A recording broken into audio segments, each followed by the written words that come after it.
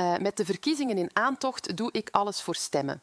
Ik nodig iedereen dan ook graag uit op mijn OnlyFans-pagina om kennis te maken met mijn talenten.